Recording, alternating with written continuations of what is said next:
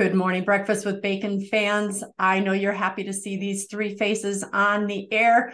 I am so excited always when I can have the countdown to the kingdom crew together on my show. Christine Watkins, Daniel O'Connor, Mark Mallett.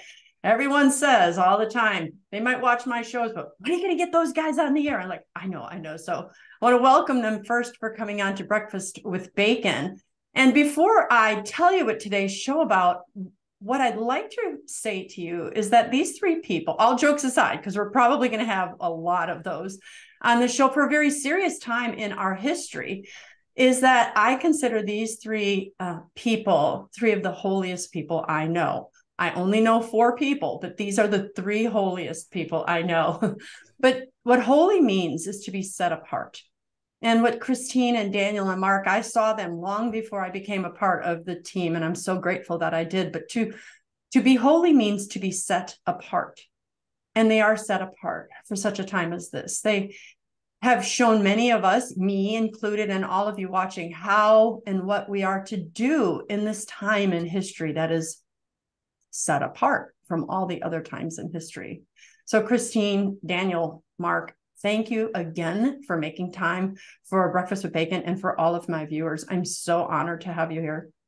Well, thank you for making this happen, for having us. I know I'm extremely grateful because it's been way too long since I connected with the crew here. We've we've all had our own things going on, but we're eager to dive back in full speed as soon as possible. So thank you, Christine. Yeah. Daniel, I'd like to kind of turn it over to you. There's a really important purpose for today's show. Do you mind telling our viewers? Well, we we're all in agreement that God is giving us an opportunity right now. We've seen the preview the last few years with what is going to come next. We, we saw a relatively minor preview compared to the persecutions coming next with all the tyranny of the last few years with COVID especially, and that's now died out. And it, it would be quite foolish to think, okay, well, thank goodness that's over. We don't need to worry anymore about about the new world order elites about about these uh, nefarious plans paving the way for the antichrist. We don't need to worry about that anymore because now because now the covid restrictions are gone. Of course not. Well what was god doing for that? He was he was giving us a warning a warning before the warning perhaps you could say. And what's coming next is way worse but it's not here just yet. We see the rumblings of it. We see it approaching but it's not here just yet. So our question now is what do we do with this window of opportunity that god gives us. And I think it's quite providential that God has told us exactly what to do in the gospel reading of the day that we're here recording this. Do you mind going with that? Because oh, sure. Yeah, you want me to read that right now? I would love it yeah. because we're going to go with Matthew 5, 13 through 16 is, is, is actually prophetic, as is everything in the Bible. I think so. Yeah. Let me, I've got it here on my laptop. Let me just read it. Jesus said to his disciples, You are the salt of the earth. But if salt loses its taste, with what can it be seasoned? It is no longer good for anything but to be thrown out and trampled underfoot. You are the light of the world. A city set on a mountain cannot be hidden, nor do they light a lamp and then put it under a bushel basket. It is set on a lampstand, where it gives light to all in the house. Just so your light must shine before others, that they may see your good deeds and glorify your heavenly Father. Amen. Our light must shine before others in these days. And I think in one simple phrase, that's what Jesus is especially saying to the devout, the remnant faithful right now. Let that light shine before others. Before I turn it over to Mark and Christine, Mark, um, you and Daniel had done the series that so many of us had seen on the seven seals. And and of course, uh, if you don't mind me recapping, we talked about the time of mercy and then the peace is shattered economic collapse, social collapse, minor persecution, and then the warning before we get the reprieve of, of six and a half weeks. And I've had people saying to me, maybe the warning's coming tomorrow, M- maybe soon. I hope it's coming soon. And I'm going, wait, guys, wait. All of those things have to happen before the warning. So whether they all happen kind of like boom, boom, boom at the same time or separately, and there's a kind of a, a break in between each we've got a lot that's got to happen before the warning but um as daniel was saying in the meanwhile because all the people are saying well, you know what do we do? What do we do until then? How do you guys say to to be the salt of the earth? Because it's up to us as was just read in the gospel to get other people there to get other people to heaven to get other people ready for the warning what saith you are we spot on on this um well i think just addressing your your first point um christine um the the image that the Lord gave me many years ago was that there was a great storm coming upon the earth like a hurricane. That was the word that almost launched my writing miss apostolate in 2006. And then it was shortly after that that I opened up the book of Revelation, chapter six, with all the seven seals.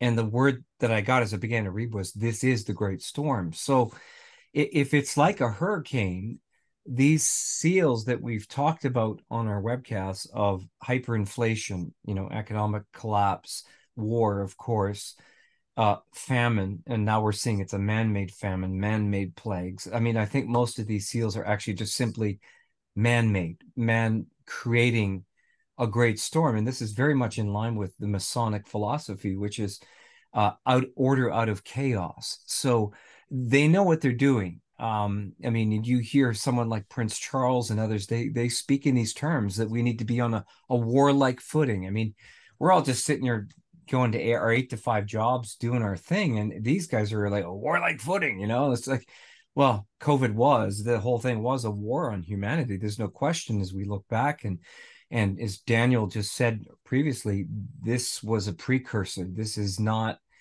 it there's more coming. So to answer your question is if you think of it like a hurricane well a hurricane is constantly spinning and you're getting closer to the eye of the storm. So uh, you know I, I, don't know like is the is the second seal uh, of war is that fully opened or is it yet a major event that thrusts us forward i'm kind of suspecting the latter but i don't know um, hyperinflation uh, you know, the third seal, which is what uh, uh, you know, a day's wages buys a bushel of, of barley or whatever it is in the, in that in that seal.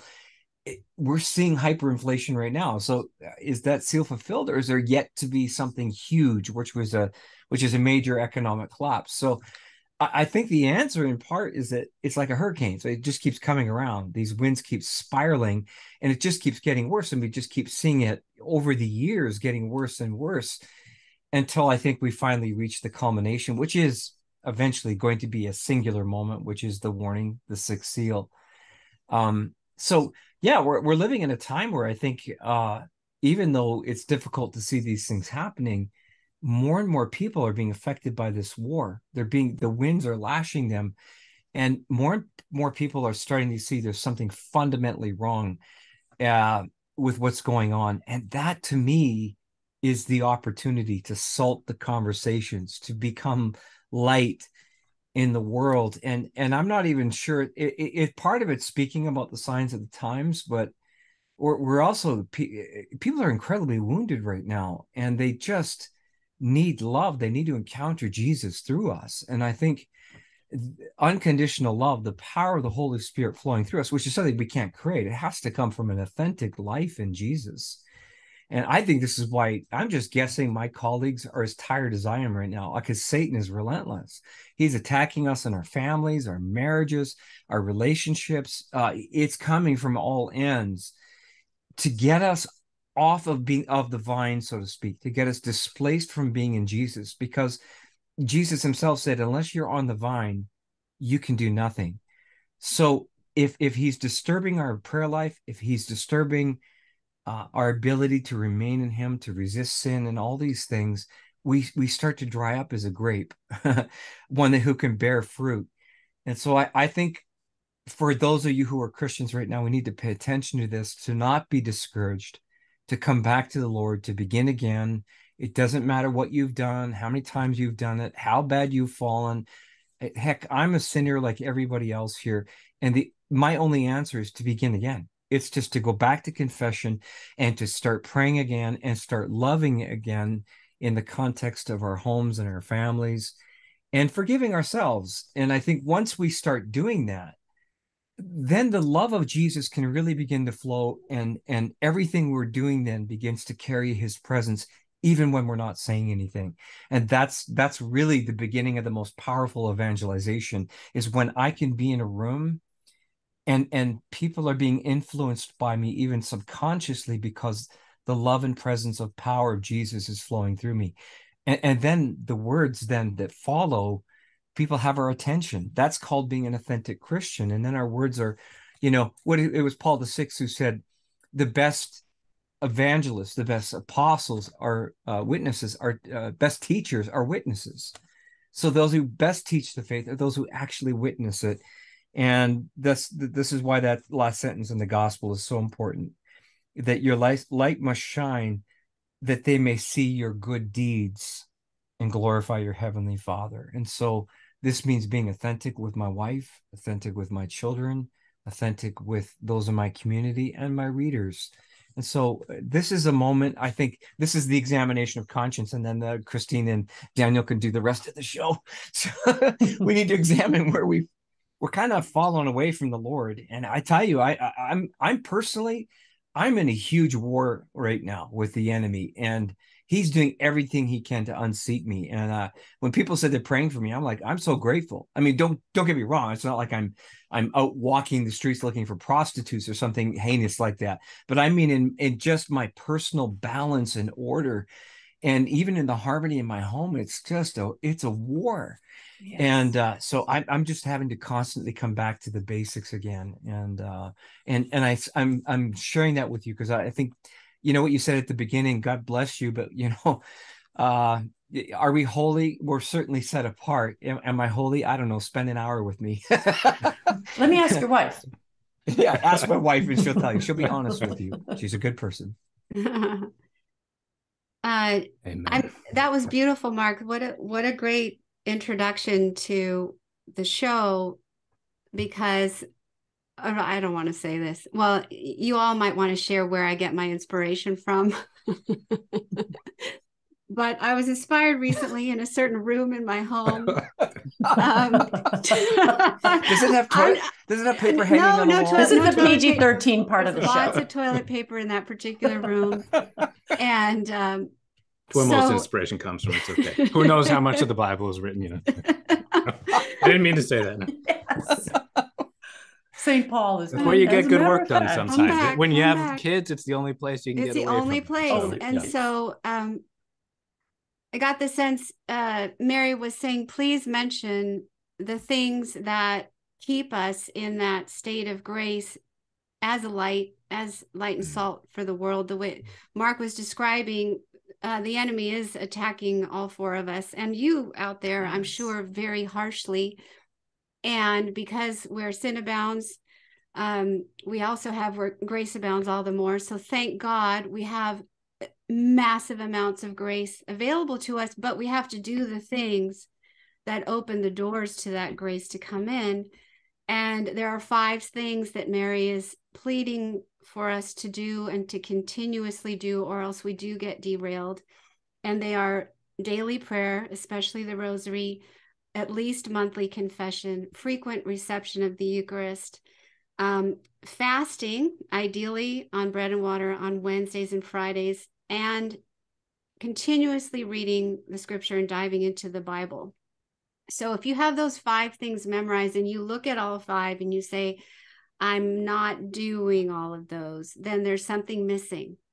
And the one that people tend to chuck is fasting. They say, Oh, yeah, I can go yes. to confession more frequently. I can make it to Mass more. I can crack open the Bible.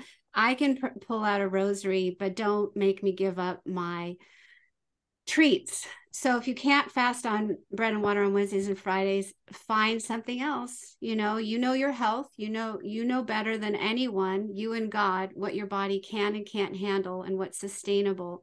But we really are in times where certain demons will not leave. They will not leave us. They will not leave our families. They will not leave our communities. They won't unless we fast in addition to our prayer. Christina, recent- oh, go ahead. Go ahead. So I, yeah, I really wanted to say that. I also, before I forget, uh, after the warning, we're talking about this period of time preceding the warning. And a lot of you have asked for something to hand to people after the warning so that they know what just hit them. So just want you to know I'm in, um, I have this brochure available. Um, I'm going to pretend to hold it up right now because it's not in front of me. Hmm? I'm going to do some AI thing right now. Later on, Yeah, there we just go. Photoshop it There in. it is. Um, that you can have at your disposal um, and just pass it out. I wanted to make it very easy for you. So just wanted you to know that that's available. Mm-hmm. And what we'd like to talk about in this show are simple and practical ways for us to take that light that hopefully remains within us and share that light with the world. And I have a little story of what happened yesterday about the enemy attacking the family. But Christine, I'm sorry, did you want to say something? No, I want you to go into that because that's more important. My because oh, story. well, the story you're going to tell because if I know where you're going to go, as everybody watching knows, I I not I, but the Lord through me has given me the vocation of saving marriages for a living. And the things that are coming that people are talking about are good, holy people, people who want their marriages to be good. And the things that Satan is using against them is is there's a particular I don't know, I don't know how to articulate it here, but there's something different about let me go to these points in your in your marriage, these resentments between a husband and a wife. Um uh, to to I can't name them here, but they're very particular and different than what I'm used to seeing. And I've only been seeing this in the past two, three years, all of a sudden going attack this family. And these are good, holy marriages, good, holy people who've already been here in their I desire to please you, God. I would like to die for you. And now, you know, Lord is going, Satan's getting those people here. So I think I haven't even asked you guys, but again, I think we all alluded to the fact that Satan is definitely going to start with the domestic church. I am He's seeing gonna that. start- ex- I am seeing that exploding. Go ahead with that. Yeah. Oh, exploding. Absolutely. So maybe we each have our stories of marriage and family nightmares. But Go ahead, Christine. We'll let you start with that. yes, I, I, I think I have the most. I, You have three sons. It's impossible to have peace in your house. okay, so I'll, I'll try to make this brief. So two days ago, my I have a, a six-year-old, a 14-year-old, and a 19-year-old, and the six-year-old and the 14-year-old are, are still with me at home. And the six-year-old, he said, I don't want to do piano lessons anymore. So I said, okay. So exorcism right away. No. I brought the priest. No. So he was saying, You're playing the can't- organ. he said, then. so he was complaining, too much handwork, too much handwork. I want to do cello. I want to do flute. I want to do something else. I'm not doing piano. And and he and I said, well, I said the cello, yeah, it has this hand. I said, honey, but it also has this hand. He goes, what? I said, yeah. I said, I said every instrument is going to have you move your fingers, and it got him thinking. I still don't want to do piano. Okay, no piano. Night before the piano lesson, which is the night before last, he says, I'm I said, okay, I'm gonna call your piano teacher. We're canceling the lessons. And he goes, stop. I want to do piano. I said, okay, we're we're doing piano. I pick him up from his aftercare program yesterday. Why are you picking me up? I said, because we're doing piano. I don't want to do piano. I said, look, I said, you decided to do piano. That's why I'm picking you up. Please get in the car.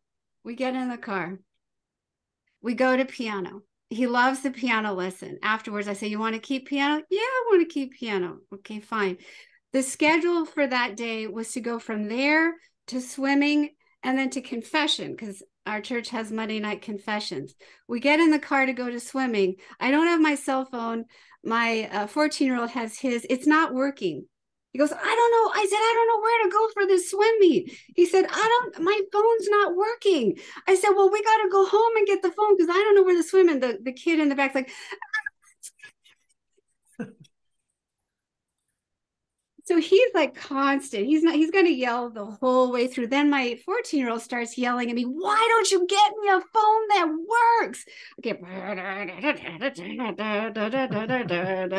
We, I have to drive all the way home. By the time we get to the swim meet, there's three minutes left. in the whole meet. So I like mm-hmm. pushing, and my kid's like, I need to get in the water. So I basically shove him in the water. I'm like, spend your three minutes in the water. He's like, he's like having a ball. I, "La, da, no, no. He thinks it's a swimming lesson. It's not, but that it doesn't matter. Perception is everything. We get out of there. We go back home. My son's like, I'm not going to confession. I said, but but but but but, we, we we had it planned that you, you would go to. I'm not going. He gets in his bed, pulls over the cover, puts the cat on top of him. Not going. I was like, why? I'll give you a phone that works if you go to confession. Really? Gets out of bed. We go to confession. And then I was like, go in adoration before confession. No. You got to get close to Jesus. No. I'm fine where I am. Jesus is close enough. I'm like, no, no, no, but you got to, and he goes, no, I'm not going in there. I said, why not? She, he said, because the the lady's going, Hail Mary, full of grace. Her, her prayer is bothering me, and there's a, a, a fluorescent light that's buzzing. I can't go in there. so I go in there. I turn off the fluorescent light noise in Spanish. I'm speaking to the kindly. I'm like, my 14 year old, me, me, mi hijo quería rezar aquí y no quiere ruido. Ah, sí, no es hay problema. I come out, I've got that set up. The chapel is just the way you want it. Go in there. He goes in, he's like, Mom, I fell asleep the whole time.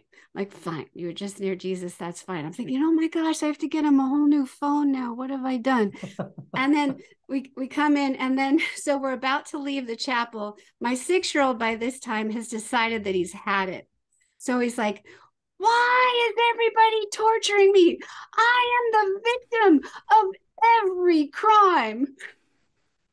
He said that? Very standard yeah. six year old. Yeah. yeah. I'm the victim of every crime. And I thought, wow. Worst mom so, in the whole so, world. so then my my 14 year old made it to confession after his adoration.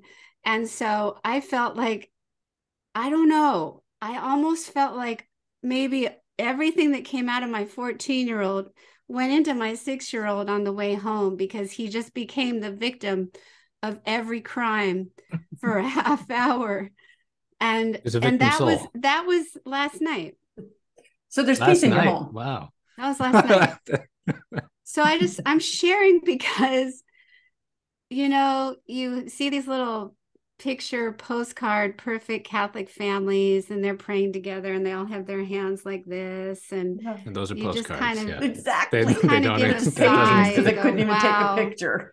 Yeah that doesn't exist in reality. So if you if you're sitting there wondering man what the heck is wrong with me and my family? It's it's you're uh, the families out there who are the you know the public images they're going through the exact same things. So the point yeah. the, the moral of the story is persevere Yes. I know so many families looking at their issues thinking, all right, it's time to give up. It is not time to give up. I solemnly assure you, if you're thinking of walking out on your spouse or something like that, that is from the devil. I, I assure you that infallibly. Okay. That's it. Hold on. Hold on to your marriage. Hold on to your family. Persevere. The, the the the end of the road, you know, the, the the prize is coming soon enough. Jesus is asking you to persevere though. Yeah. You are stronger as a team than you are apart. And that's why Satan is working his butt off to uh, working his wings off uh, to um, divide you, to divide you, to get you to give up. I mean, I know people talk about, oh, the Latin mass people are holier. And I mean, I go to Latin church Monday through Saturday and I go to Novus Ordo on Sunday. And I see the same things in both. I see these holy, you know, families at the Latin church with six or seven or 10 kids and they're dealing with the same problems and they're fighting so hard for their marriages and their families. And I'm like Daniel what you just said is exactly it. Persevere. Do not give up. It is hard and I'm not even with them pretending that it's easy. Uh, you know some of the things that I've seen my heart breaks um, you know restraining orders and and um well just yeah. just things oh, that are I've this isn't make believe yeah. stuff. This it's, is right. tough I, have seen, and I can't, I, I can't go into detail. because I'm not at liberty to share what this is about, but I, I've recently observed the most uh, unbelievable situation in a, in a devout Catholic marriage that you wouldn't imagine. I, it was you never would have seen this coming, and yet it, be, it very quickly became the worst worst situation you could almost even think of. Mm-hmm. And we were just begging God for for His intercession for this family, and mm-hmm. out of nowhere, just healing. I, I wouldn't have believed that, that this healing would have happened overnight. What what we observed in in response to prayer for this couple. So you think your situation is desperate or or irreconcilable or unfixable that is a lie from the pit of hell whatever you're going through now god can fix it overnight if that's his will. And maybe it's not his will it's overnight. Maybe it's his will it'll take a, a long period of healing. But i but what i do assure you is that it can be fixed and it can be healed. And through his grace it will be if you keep seeking it. The perseverance that you're learning through the domestic struggles you guys have I believe, and maybe you guys can speak to this, is is training for the perseverance we're going to need when all of this stuff happens. I mean, this mm-hmm. this uh, economic collapse, social collapse, rioting, things. We are being strengthened. The more you weaken your flesh, you strengthen your spirit, and that's why perseverance is absolutely huge during these times. It's it's training. It's a training ground. Mark, was it you or Daniel earlier that says we're on a we're on a battlefield or uh, the war games. Didn't one of you say that? Well, yeah, yeah, and I think that's a valid way of looking at what we had to endure for the last few years. Is like the devil's work. In a post a while ago, I called it um, the the uh, the dress. I called the cold COVID tyranny a dress rehearsal for the Antichrist. And that's valid enough, but I think actually a better analogy would be that it's it was a dress rehearsal. That's what I said, and I think a better analogy would be that it was like the, a war game so the devil is not omnipotent. He's not omniscient. He has to kind of learn and figure things out. He doesn't know everything. So with COVID, he was kind of testing the waters with all that tyranny that he inspired the institution of. And I think he learned a few things during the COVID tyranny, and he's going to apply those lessons he learned in the next tyranny. And and I'm still kind of investigating this and and and thinking about it before I uh, put my thoughts out there full blown. But I think one of the things he learned is that he's got to move faster people caught on to the COVID tyranny in a way that he wasn't expecting. And I think the next tyranny is going to explode into the world so quickly that we're not going to have any time to to modify our own response. We're just it's going to be like right into refuges at that point, which is why I think this time we're in right now is so utterly key. This window of opportunity we have. I think always about the uh, the line from the Lord of the Rings where I think it's Gandalf. He says, we're in the deep breath before the plunge. You look out in the, I think this was it. I, am not a Lord of the Rings nerd, so I'm going to misquote this. I mean, we don't believe you. I promise I'm not. Deep but they're plunge. looking out. He doesn't see the armies coming. No, no one sees the armies coming. You can't see them if you physically look out. And so, so you could just go about your days pretending all is well. That the, that all the chaos that just happened is just over and done with. But no, if if you have an honest assessment of the way things are. You know that it's about to burst forth again. You just don't see it physically in front of you, but you realize it's about to come. So, this deep breath that the devil is taking, that his minions are taking, he's doing that because he needs it. Because again, he's not God, he's not omniscient. He needs to fine tune the strategy. The question is, what do we do with that same period of time? And what we do is, as we said in the beginning, we get his mercy out there because you have no idea. You probably need it. I know I need it, but you have no idea how much you can do to get his mercy out there and how easy it is. You, you take that, Our Lady's admonitions, the five stones, you remain in God's grace. And you don't have to go out and get a degree in apologetics and memorize every argument for how to bring people into the faith. In fact, you can ignore all that stuff. I mean, there's nothing wrong with it. It's, it's good to it's good to know a few answers. But really, all you need is openness. That's all you need is, is being in, in God's grace, seeking to live in His will, and then just making yourself available in a posture of openness to whatever the Holy Spirit might present. And you'll be amazed at what he does through you. Amazed. You know, I, what's coming to mind, and, and I wonder if it's okay to, to point to where this is steering in this show is perseverance amidst brokenness, mm-hmm. kind of what I'm hearing. Mm-hmm. Um, and to give an example of that, and maybe if you're all okay with it, maybe we'll stick with that topic um, on this show, but one hour before this show, and you heard what my evening was like yesterday. I went to mass this morning and I said, okay, my my 14 year old needs community. He can't be lying in bed with his cat on his stomach all day. I, you know, I just sat there in mass saying this, I need help for both these children. And I got out of mass and there were kids doing a vacation Bible school making too much noise um, outside the mass. And I looked around and I asked some questions, and this lady was walking up, and I started chatting with her because I felt compelled to. and I told her about my son's situation. I said, we're, you know, we're kind of isolated here in terms of a teen and needing community and needing faith. And she goes, I know exactly what you mean. In COVID, I was, you know, on bed rest with my three children. We were locked up for a year. I know what it's like to need connection for your teen. We looked at each other, and by the end of talking to her for an hour, she was now my new best friend. And we have three different activities that my son can join. Whereas a moment, a split second before that, I had nothing for him. I hadn't been able to find anything for him to connect with for months. And then God went, foo, and gave it to me right after I asked for it this morning at Mass. So I think that's this microcosm of my last few hours of life really talks about brokenness like the chaos in the families, the chaos in our lives, and trying to hold it together as you see things kind of around you just spinning out of control. And then going deep and saying, please, you, you've got to fix this. You've got to provide something. But and then once again, we have to do our part. I had to walk out and talk to that lady. I had to go to mass. If I hadn't done those things, God couldn't have given me what he wanted to give me we do our part and we persevere, not knowing when or how he's going to show up, but keep on, keep on, keep on. Amen.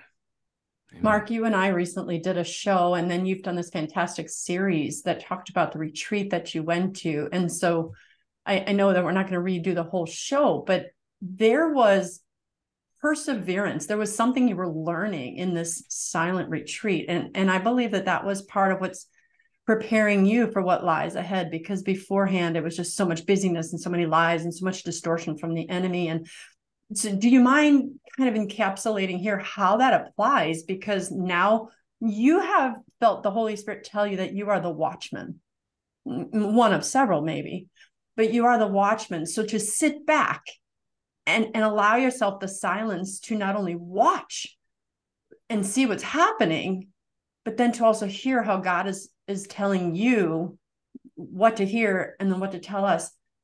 How how has that helped you and how is that applying to this time right here right now that we are in this kind of reprieve that daniel said well yeah in 2002 pope john paul ii called all the youth to become watchmen who announced the coming of the risen Christ. So it, it wasn't just me; it's it's hopefully a generation that's watching and praying.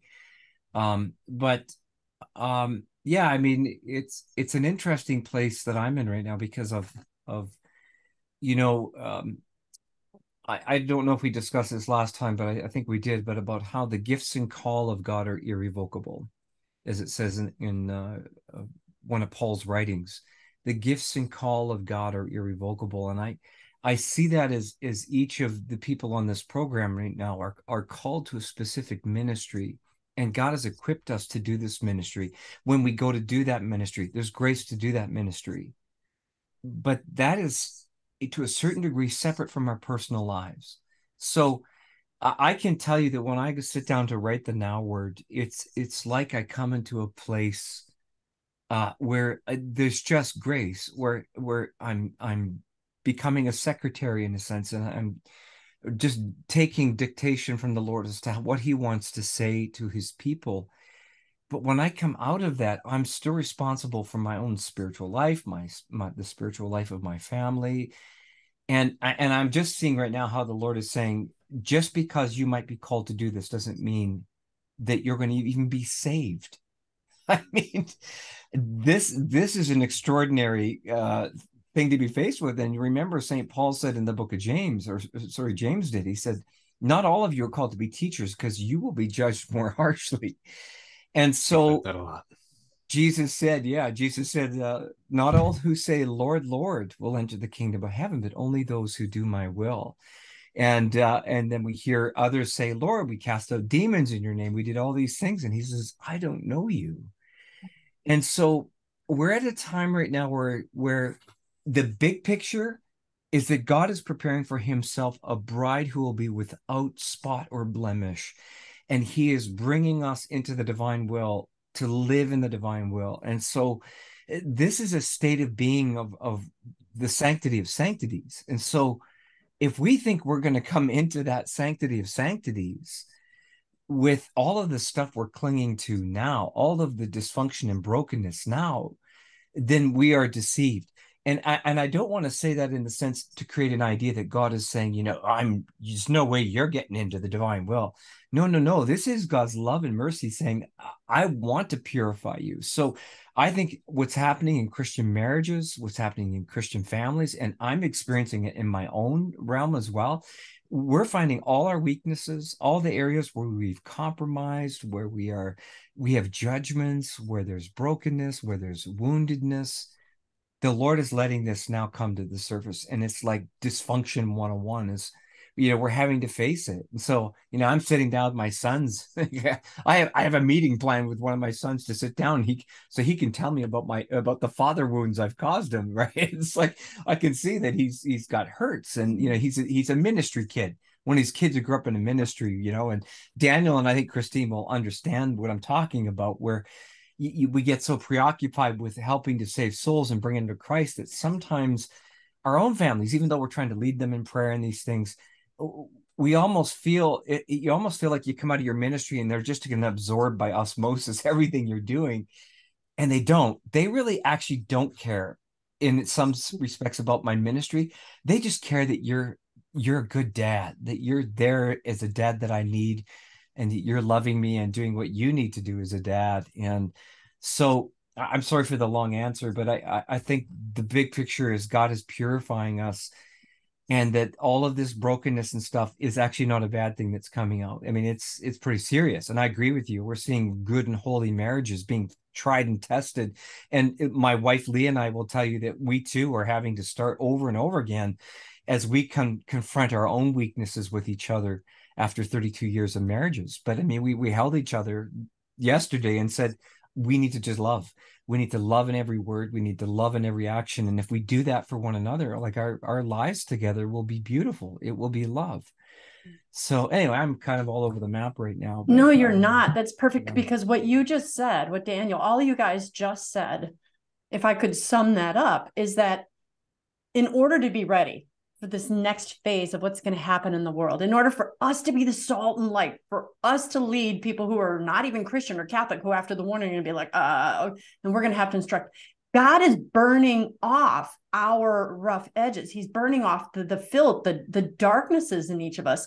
And in order to do that it has to rise to the top. So God is letting us see Mark through your son, Christine through your sons. I mean, our marriages. He's saying, okay, Christine Bacon, you've got to work on these areas. Uh, I know he tells me a lot that I need to be gentle, um, always uh, working on humility. Um, what are the areas that need to bless not only my marriage, but others? And I need to work on it in my marriage, in my family first, so that I can give it to others that kind of speaks to what all of you are going through. Is that not true? Yeah. God works all yeah. things to the good for those who love him. If you have to start from a clean slate every other day, praise God. All that matters is that you recognize that before you die. So, you know, you mm-hmm. don't ever waste a second lamenting the past. The past is God's. He let it happen because it was his will. Jesus, I, I, love this line that Jesus tells the servant of God, Luisa Piccarreta. He says, to think that, uh, and he means this in a certain sense, of course, but the, the thought of the past is absurd. It's like wanting to claim divine rights. In other words, what has what God has allowed to happen was part of a plan. And I always want to remind people of that, but sometimes I hesitate because I because I sense that they can't even handle hearing that when they're going through these great trials where, where they think that they're where they're almost tempted to think they're lost or something when they're clearly not. That that that even this is part of a plan to make things better than they were before this seeming tragedy happened. And yes, it is, I'm sure, whatever you're going through, if you're struggling, it is a tragedy in one sense, but not in the sense, not in another sense, not in the sense that God is working something greater through this. If you love Him, then it's a fact that this is part of a plan for your good. And, and I believe that if you're bothering to listen to this, you do love Him. And, and if you and if you're wondering if you do love Him, tell Him you do and if you if you meant that, then you do. There's there's not some mystery. There's not some mysteries about what, as to whether you love him or not. If you make an act of the will, sincerely seeking to love him, then you love him. And if that's if you've done that, then everything that he that he is allowed to happen is part of his plan for the good. And you need to hold on to that and keep moving forward in it. and cleaning our hearts out and our lives out in the midst of the brokenness i i felt convicted by something i i said and that i was saying i would get my son a new iphone i, I really want to flesh that out because his phone is extremely restricted and will be again and i think that some people are aware but not enough that that mm-hmm. is a portal yes the iphone the internet, the iPad. It's all a portal for what is to come. And it is the new church for our children. It's where they go for comfort, it's where they go for connection, it's where they go to feel alive. It's not church anymore, it's not silence anymore. It's the noise of whatever technological device and if you can imagine, so there are other people on the other side of the screen who want our children. And what they really want is to get them addicted to something video games, pornography, social media, checking to see who likes them, checking to see who contacted them. It so Daniel just spoke of love, getting in touch with love. Love comes in the silence and through a person and through nature and through all these things it it can come through technology if one is watching good holy content and technology should be used for evangelization and and we're doing that now but by and large today technology will be used by the enemy so if you have given your kid a device freely and without restrictions sorry to offend. I've made my own mistakes, so I, I am not condemning. That was a mistake. And you have to undo right now what you did. Because something I I assure you, the average age that the kid is introduced to pornography is 11 years old. And parents don't want to think of their children as sexual beings um, parents don't want to think of their children as someone who would go back out of curiosity to look something up but they've done studies and i and i'm sorry that i can't cite exactly what study it was but i know it's been done that if a child is introduced to pornography without their parents having explained what it is and gone through a whole session in pre-puberty years before they get hit by puberty 100% of the time those kids will search up what was just what they stumbled upon. 100% of the time. So and they will lie and they will feel ashamed and they will not tell us and all that.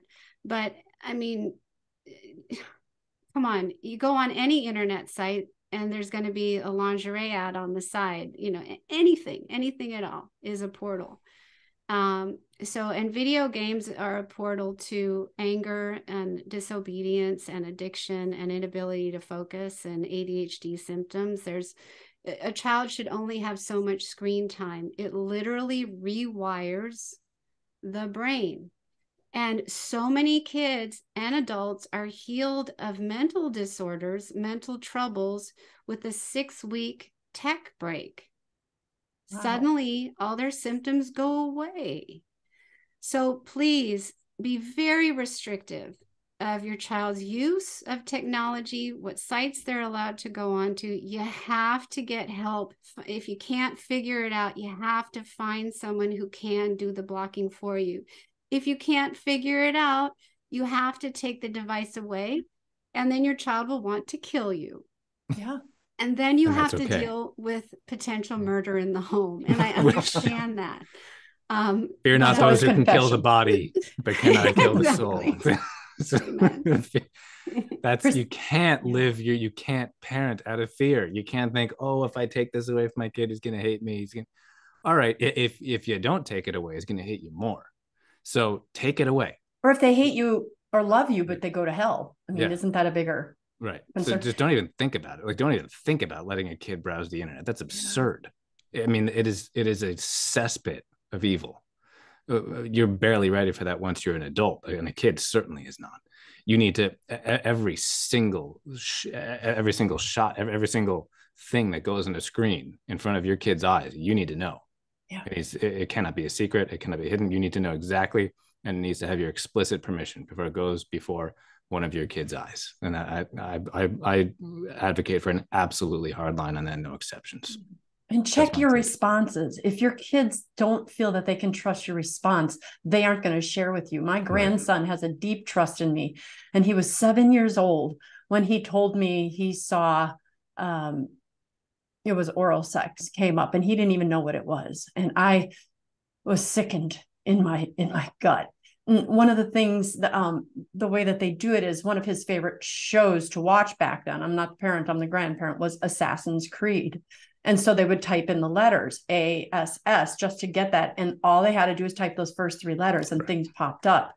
And so he immediately felt bad because he felt like it wasn't good.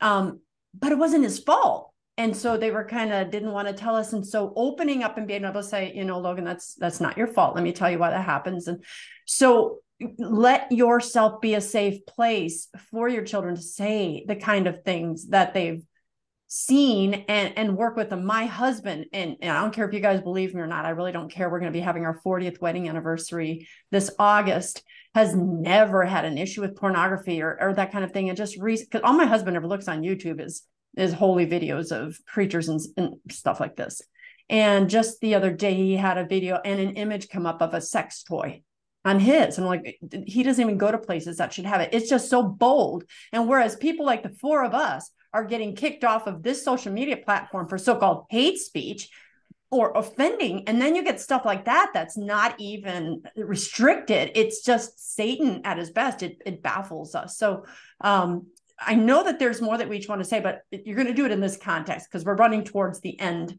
of the showtime so i want to say to each of you um, in terms of what we open the show with, this is a, a, time of reprieve where all the enemy is regrouping to get us even harder than he did before.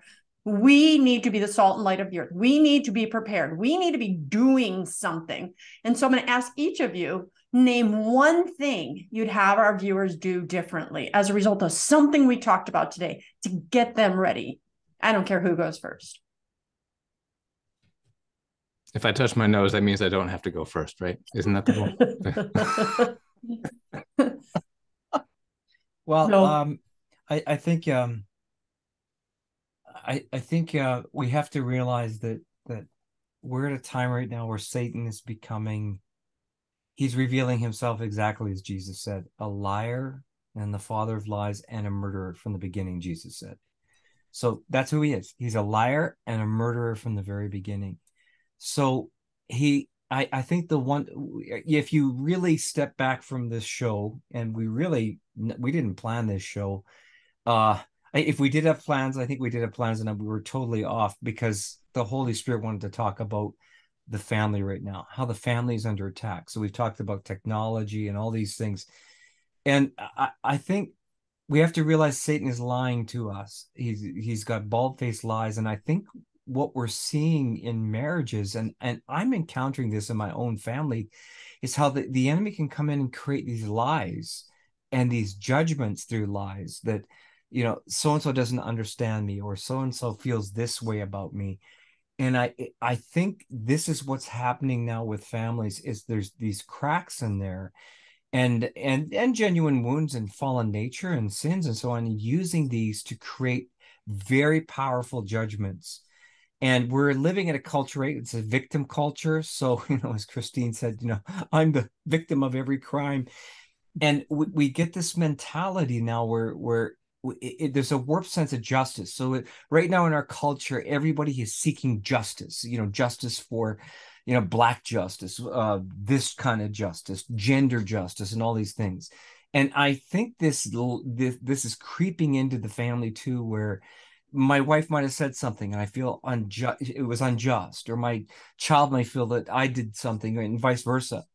And these judgments are being created, which are extremely powerful, so powerful they can destroy families. So, this is what my advice would be to those of you who are watching these good and holy marriages and families that are under siege um, just like mine is under siege right now because we're we're and we're working through them, but some aren't working through them, and this this is where it goes really bad.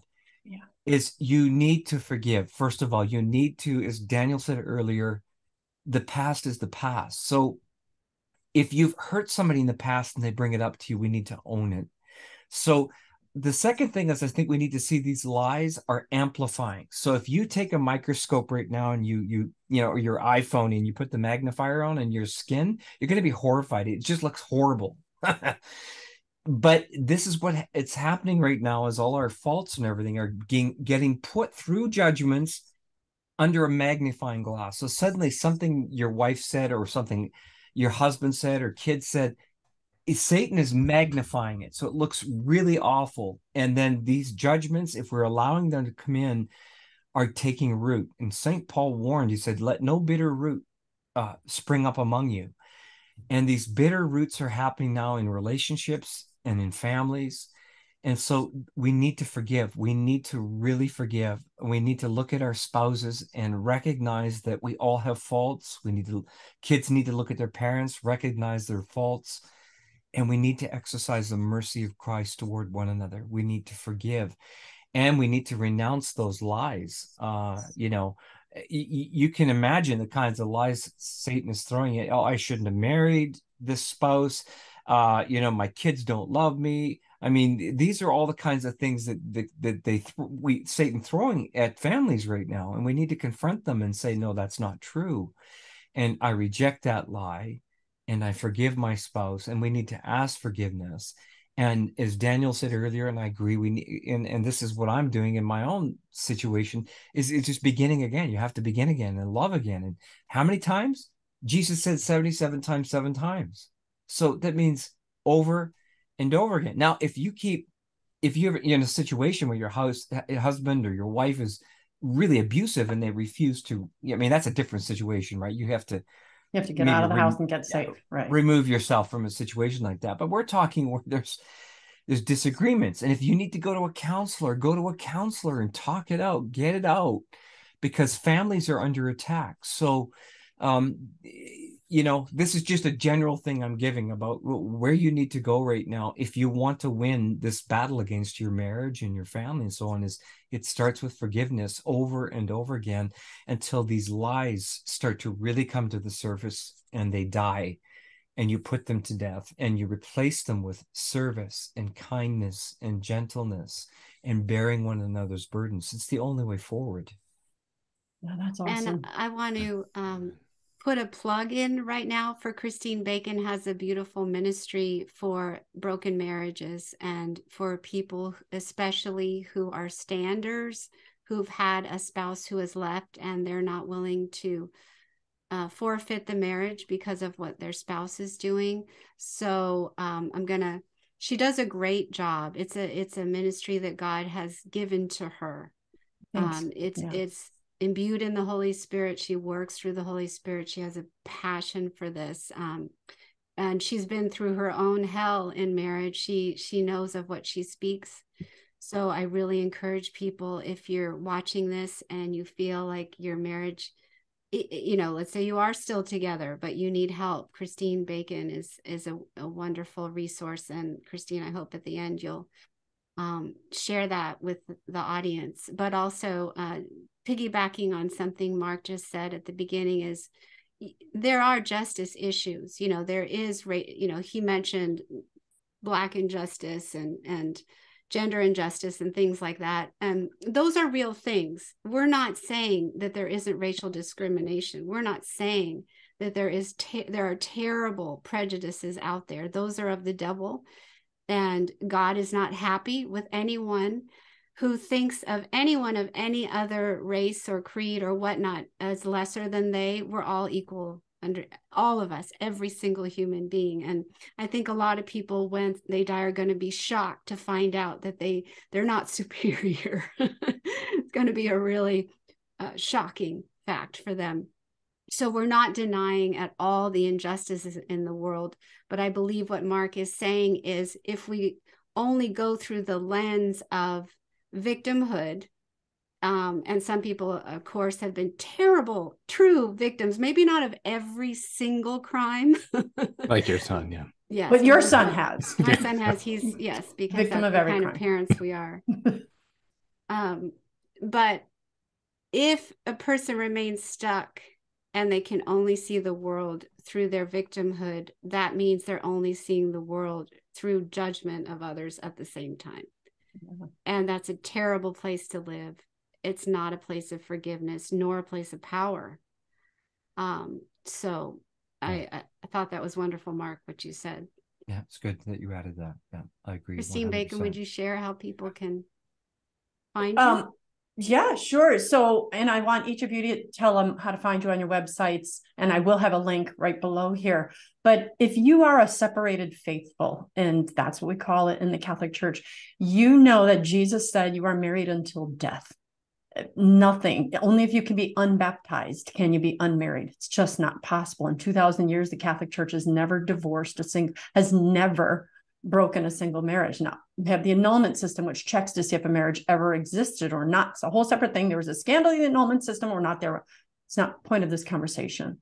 But if you are standing for reconciliation, even if you think that that reconciliation will never come we have a community we have a standers community that's what you are you are a stander whether your spouse is in the midst of an affair whether your spouse has already divorced you whether your spouse has already entered a, a fake second marriage um, even if your spouse has gotten an annulment from the church and has entered a marriage that's considered valid by the church and you still wish to stand on your vows look me up, breakfastwithbacon.com. And of course, there's a link right here below this as well.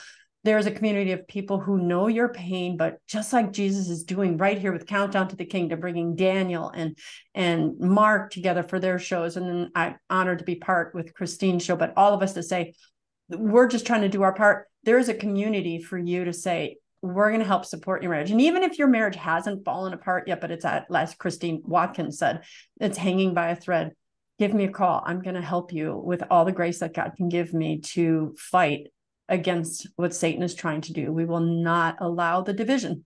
We will stay together. So um, I'm not putting the direct link to that group here because it's a very intimate and private group. Everyone in that group has been vetted through me. So just so you will feel comfortable if you're in it, there are no people in that group that haven't. Um, I know the stories behind all of the do you, do you guys mind me saying it started with four four people in my living room in 2016 and here's where satan thought he was doing good by bringing covid but because my meetings which were at this point at about 25 people in my living rooms uh, because we were forced to go to zoom god has blown it up and we are just under mm. 300 standers from 40 states and 10 countries and still growing and God has been, and we've already had almost 20 reconciliations of people who have said, I will never get back with you. And they have. So wow. God is so good. Ah, that is, is so beautiful. Good. Never believe the oh, devil when he says never. He doesn't know the future. He, he, pretends he does, and he does not know the future. God knows the future, and it's his. Yeah. So don't ever give up on, on what he has joined. But what God has joined, let no man put asunder. So do not That's give right. up. Please reach out to Christine. Yeah. So Daniel, you get the last one. Uh, name one thing you'd have our listeners do differently. Oh, I, I, forgot. I I forgot I hadn't gone. You touched your um, nose. You touched I, your nose. I thought that meant yeah. I thought that meant I didn't have to go. Um, what to do different? What to do differently to prepare? Um, Jesus told Luisa. This is nothing to do with what we were just talking about, but this is what's coming to my mind. Um, he said something to the effect of, "People say that the path to virtue is difficult," and then he tells her, "False." It appears difficult for he who does not move. For the one who moves, it is extremely easy. So if you're sitting there wondering, oh, why am I not getting holy? Or why am I always distracted in prayer? Why am I not doing this and this and this and this 800 list of 800 different piety, pious things I should be doing? Well, maybe God already told you what you're called to do and you're not doing it. So just there, there's some sort of mission. I can't tell you what it is, but there's some mission that he's calling you to do. And maybe you're too afraid or too lazy. Just do it. And and if you need to drink a little more coffee, to start doing it, then drink a little more coffee, whatever it takes. Get into that mission because there might not be much time left for it. Maybe if you start doing your mission, you'll find the grace to become virtuous in all other domains as well. That's a good way to take us out. Um, each of these wonderful people has a website. Each of them has a, a, particular mission. I know Christine's written about 318 books and she's still writing more. And Mark does constant writing on his blog. Daniel, you've just finished your third fourth? Um, I got a fourth. Uh, some yeah. Right. I'm work. I'm I'm working on finishing it. Yeah. I'm going to have a link to each of their sites right below. So just click on it and um, you can find them. Do what the Lord is calling you to do to prepare in the way God wants you to prepare for what is lying ahead. So um, I'm just going to take it off the air with that. I would love for you to follow me on breakfastwithbacon.com, Instagram, Facebook, Rumble. Um, and I, Daniel and I did a show once before saying you aren't always going to find us, any one of the four of us out here, because censorship is very real. So I would encourage you to bookmark each of their sites. And when you one day notice that you're not seeing them here on this presence, you can go directly to them and say, Hey, have I missed anything? Which is actually what I did with you, Daniel and Mark, when um, we weren't seeing you on this platform anymore. Mm-hmm. So found you still listed on the nowword.com as well as countdown to the kingdom. We can find you there. And yeah, Christine, of course, heating up. Yeah. And Christine, of course, Queen of Peace Media um, as well. So um, I didn't even tell you guys how I end my shows. I'm hoping each of you's been on it long enough to remember. I remember. You remember? You got it. So you you can shame the others if they forgot. So I am Dr. Christine Bacon. You've been watching Breakfast with Bacon, and I'd like to remind you always to live your life hard boiled. medium, over medium easy. poached. It's medium poached. Eggs, Benedict, a show on perseverance is over easy. Sunny, sunny side, side up, up, guys. Sunny oh, side. Oh, right, right, right. Be sunny.